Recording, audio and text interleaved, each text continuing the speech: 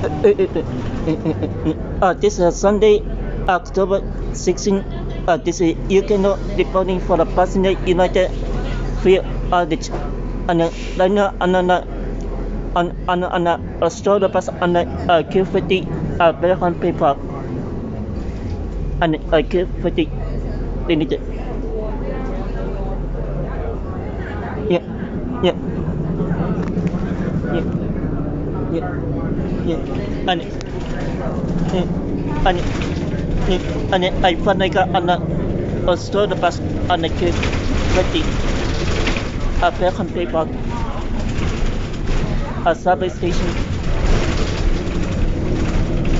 a bus.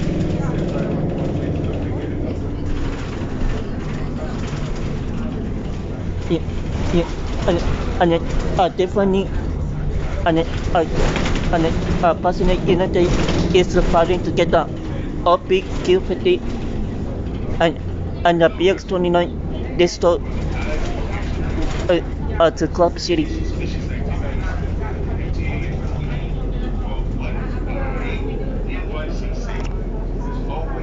yeah, yeah, yeah, and it, and and and and a lot of people are still confused with the changes.